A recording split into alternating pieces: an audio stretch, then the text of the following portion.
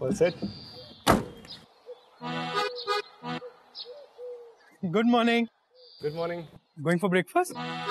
No. Mussoorie. Mussoorie. So far in an electric car?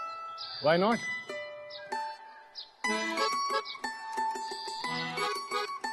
The new ZS EV has a range of 419 kilometers in one charge and a great charging infrastructure.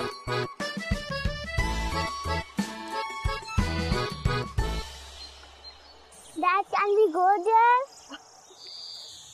Let's go.